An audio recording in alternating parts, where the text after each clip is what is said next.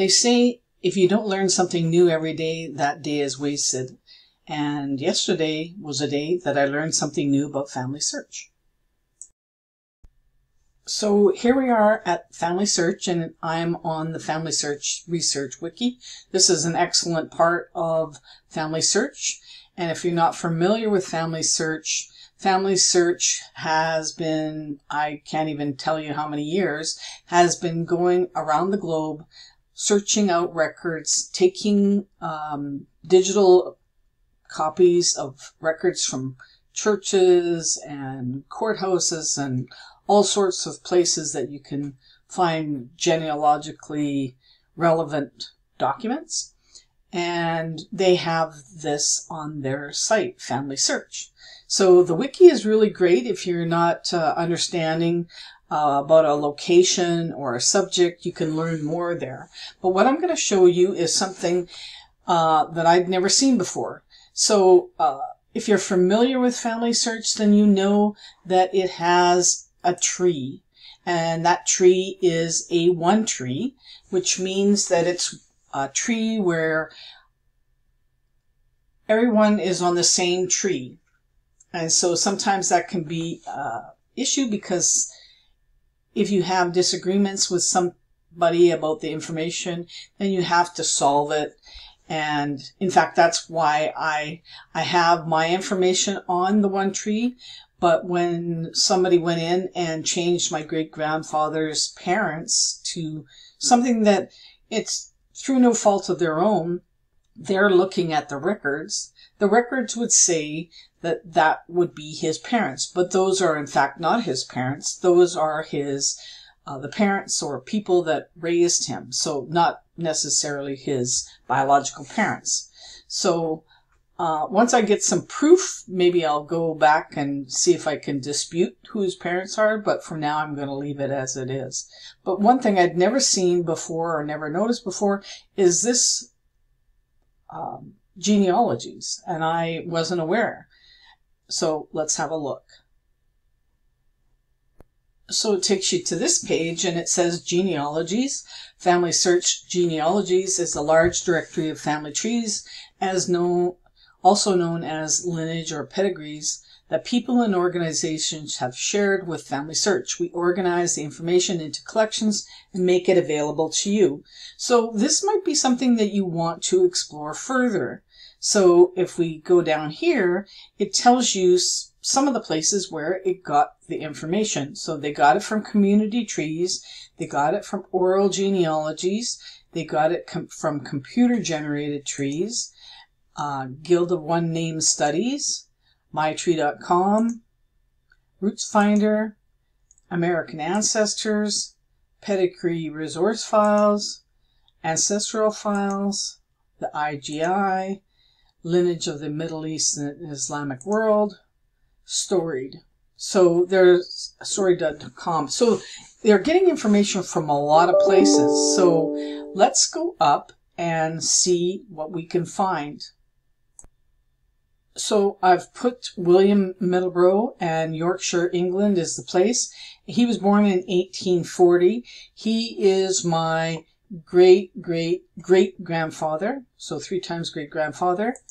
Uh, so we press search and it takes us to what it finds. So in fact, you'll see that at the very top, there is a William Middlebrough and he was baptized in 1841 and he was buried in 1896. His spouse is Teresa Roberts and his child is John Henry Middlebrough. So in fact, that is my ancestor, and John Henry Middlebrough is my great grandfather's uh, uh, father.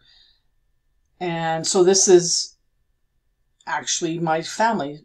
So we can look at it further and see if it gives us any hints. And I'm not saying that you accept any of this information as gospel, but sometimes by looking at other people's tree, you get ideas and information that you might not have known about. So we click that and it takes us to this. Now this is a small tree and I'm thinking that these are blank because Uh, either there's no information there or it's privatized. But uh, uh, already I can see that there's a mistake. It mentions Emily Louisa Johnson, and in fact, her name was his second wife's name was Emily Louisa Wilson, and it was my uh, his first wife that I'm related through, and that was Annie Johnson. So this isn't, you know, correct, but you know, you never know. It's it's kind of one of those lucky dip situations. You take a chance, see what you find. So here you can see you can show more details, and it shows who submitted this and that it's an ancestry file. So I actually can uh, take that URL and look at that tree if it's open. And it says that it has 133,400 people in that submission. So kind of interesting. So let's explore more.